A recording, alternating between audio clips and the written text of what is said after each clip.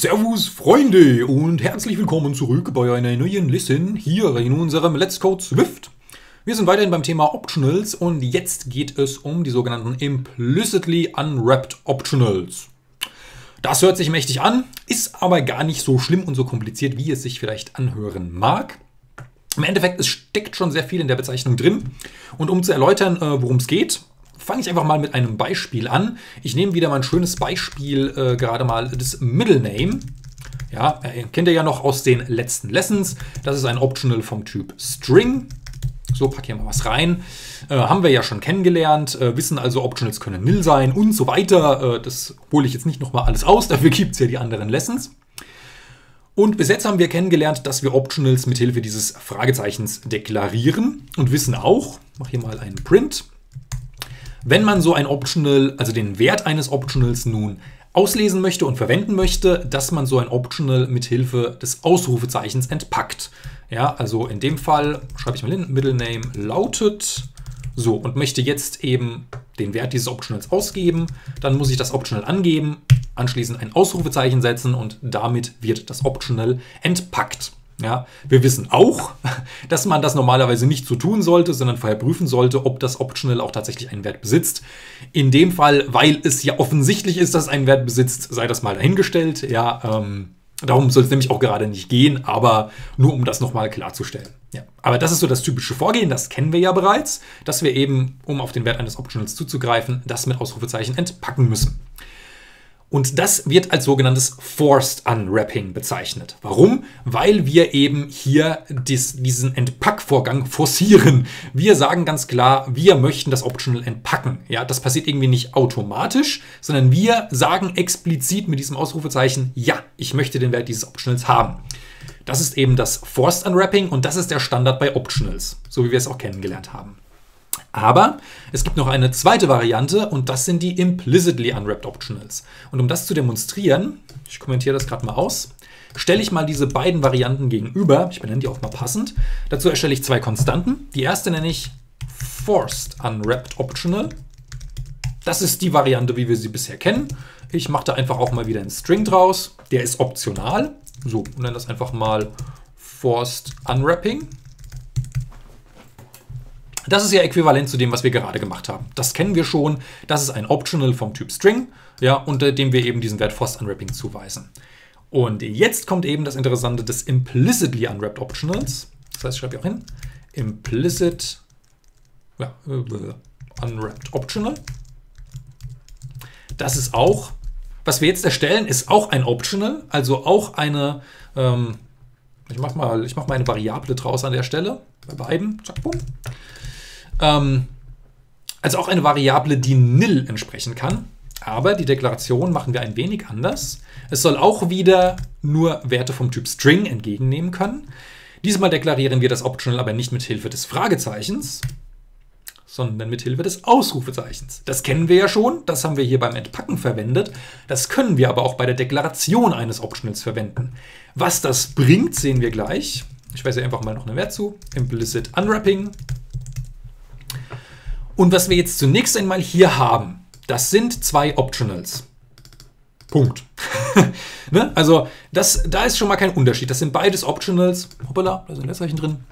Das heißt, beide können nil entsprechen. Ja, also ich kann sowohl dieser, diesem Forced Unwrapped Optional als auch dem Implicit Unwrapped Optional, zack, kann ich problemlos nil zuweisen. Das geht. Beide sind optional. Das ist so deklariert. Der Unterschied besteht eben nur darin, dass es ein Forced Unwrapped Optional und das ist ein Implicitly Unwrapped Optional. So, aber was heißt das jetzt eigentlich? Ja, jetzt haben wir hier diese beiden Begriffe hingeschmissen, haben zwei Optionals auf unterschiedliche Art und Weise deklariert, sehen, dass die sich auf den ersten Blick total ähnlich verhalten. Was ist also der Unterschied? Der Unterschied besteht im Umgang mit Implicitly Unwrapped Optionals und das möchte ich einfach mal demonstrieren, indem ich jetzt hier, ähm, oder warte, wir machen das anders. Ich schmeiße mal die Nil-Zuweisung hier gerade weg und erstelle jetzt mit ein bisschen Abstand eine neue Variable, nennen die es String vom Typ String. Hier auch äh, liegt die Betonung darauf, das ist kein Optional. Ja? Also String muss immer einen validen Wert haben, anders kann man damit nicht arbeiten. Wenn man jetzt ähm, String hier den Wert von Forced Unwrapped Optional zuweisen wollte, dann könnte man nicht hergehen und sagen, a string ist gleich Entschuldigung, forced unwrapped optional. Das würde nicht funktionieren. Warum? Weil forced unwrapped optional ist eben ein optional. Es könnte nil entsprechen. Das sagt ja die Deklaration. A string aber nicht. A string ist nicht optional, deswegen ähm, ist so eine Zuweisung nicht möglich. Was natürlich möglich ist, ist zu sagen, okay, ich entpacke hier diesen Wert. Wir wissen ja, dass an der Stelle ähm, Forced Unwrapped Optional einen Wert besitzt. Und damit erhalte ich natürlich einen Wert vom Typ String. Der ist nicht mehr optional, das ist ein String, der ist da und den weise ich hier als String zu. Wenn wir mal hier drüben, zack, das aufmachen, na, dann sehen wir auch sehr schön, ja, String entspricht jetzt Forced Unwrapping, also dem Wert dieses Optionals. Aber damit das eben funktioniert, müssen wir das Optional an dieser Stelle explizit entpacken. Wir haben ja gerade gesehen, tun wir das nicht, kriegen wir hier einen Error, weil das funktioniert eben nicht. Das ist ein Optional und das können wir nicht einfach so einem Nicht-Optional zuweisen, sondern wir müssen hier explizit einen Wert anwenden. Und genau da kommt der Unterschied äh, zum Tragen im Vergleich zu den implicitly unwrapped Optionals. Denn wenn wir nun hier unser implicit unwrapped Optional übergeben, was wir mit dem Ausrufezeichen deklariert haben, dann brauchen wir dann an dieser Stelle nicht zu entpacken. Wir sehen auch direkt, es wird erstens kein Fehler mehr gefeuert, das ist schon mal sehr positiv. Und zum anderen erhält a String jetzt den Wert Implicit Unwrapping. Und das ist eben das, deswegen auch dieses Implicit Unwrapping, also dieses implizite Entpacken. So ein Implicitly Unwrapped Optional, da wird automatisch beim Zugriff darauf direkt der Wert ausgepackt. Wir müssen also nicht mehr explizit hergehen und das Ausrufezeichen setzen, wenn wir den Wert haben wollen, sondern wenn wir auf dieses Optional zugreifen, wird direkt der Wert ausgelesen. Das ist aber natürlich auch ein bisschen tricky, muss man jetzt klar sagen an dieser Stelle. Ähm, denn, nehmen wir mal an, Implicit Unwrapped Optional wird jetzt hier nil zugewiesen. Dann führt das hier jetzt natürlich zu einem Crash, zu einem Absturz, denn jetzt weisen wir hier a String, was kein Optional ist, nil zu an der Stelle. Ja? Und im Endeffekt, wir führen hier generell einen Crash dabei, denn wir greifen auf Implicit Unwrap Optional zu, auf ein Optional, das keinen Wert besitzt und entpacken es. Denn das ist eben der Punkt, so ein Implicitly Unwrapped Optional wird umgehend entpackt, wenn wir darauf zugreifen. Ja, es wird quasi davon ausgegangen, wenn wir es verwenden, das Ding hat einen Wert. Ähm, es wird automatisch entpackt, wir sparen uns das Ausrufezeichen, aber da muss man auch höllisch vorsichtig sein, denn sollte, es ist ja weiterhin ein Optional, es kann nil sein und entspricht es nil und wir greifen darauf zu und es wird automatisch entpackt, dann haben wir genau ähm, wie beim Entpacken ähm, eines ähm, explicitly unwrapped Optionals ähm, mittels Ausrufezeichen, haben wir dann eben einen Fehler erzeugt und es kommt zum Absturz. Darauf muss man eben einfach achten. Äh, wir sehen hier jetzt eben den besten Fall. Ähm, hier wird implicitly unwrapped optional direkt entpackt. Es ist aber nil und deswegen funktioniert das nicht und wir haben hier den Absturz.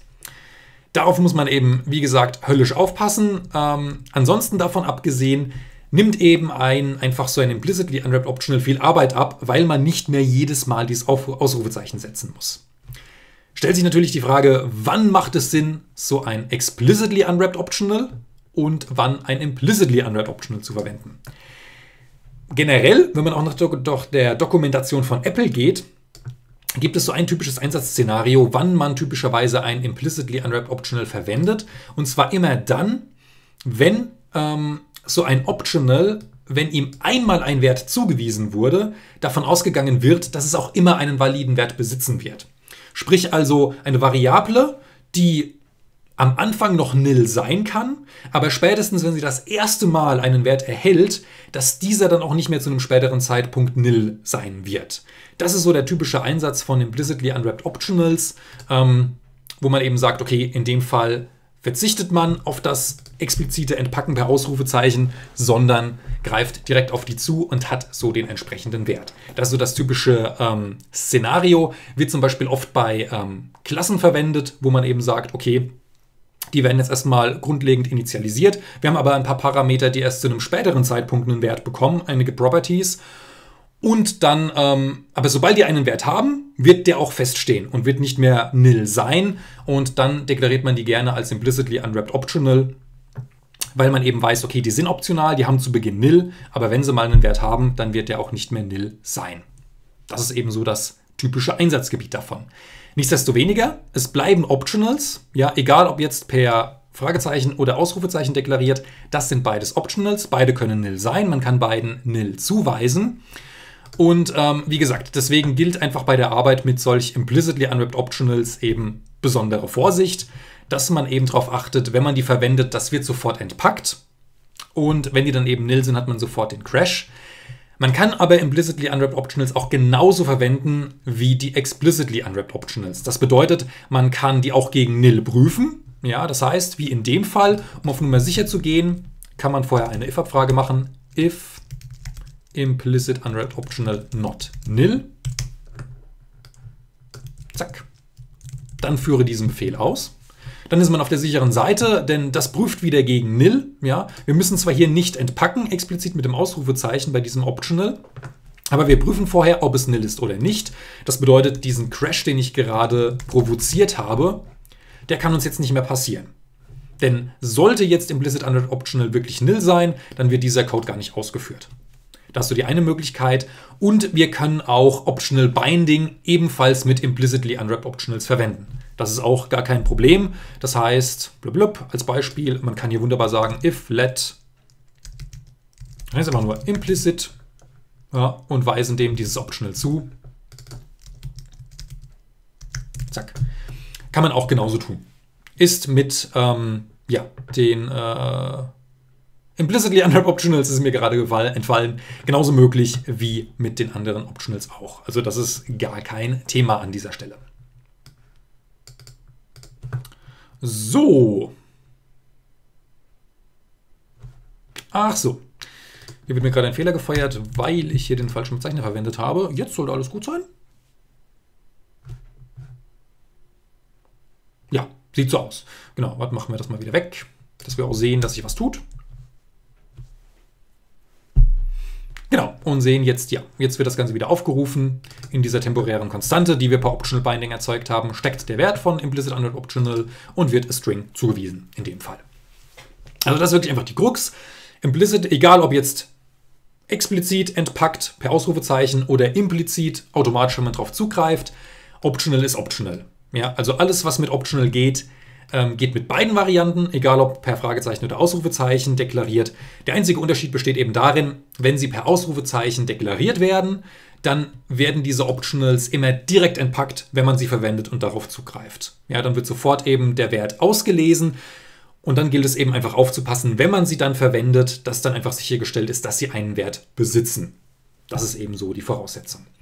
Wir werden damit auch, ich habe ja schon eben angedeutet, so der typische Anwendungsfall ist dann auch bei Klassen oder Structuren, also bei eigenen Typen, wichtig. Da werden wir die auch noch mal mehr im Detail sehen, eben auch mehr Einsatzszenarios sehen, wo sie wirklich wichtig sind. Hat dann auch mit der Speicherverwaltung zum Teil zu tun, wo das dann durchaus zum Tragen kommen kann. Ähm, aber für den Moment hat man einfach mal gesehen, was sind implicitly unwrapped Optionals? Wie unterscheiden sie sich von den normalen Optionals? Wie verwendet man sie? Ähm, und haben das jetzt mal so durchgewuppt an der Stelle. Okay, Freunde, das war's dann für diese Lesson. Ich hoffe, ihr hattet Spaß ähm, und hoffe, es geht euch gut und ihr habt eine schöne Zeit. Und freue mich dann natürlich, wenn wir uns in einer nächsten Lessons wiedersehen. In diesem Sinne, ganz vielen Dank fürs Zuschauen und bis zum nächsten Mal, Freunde. Ciao!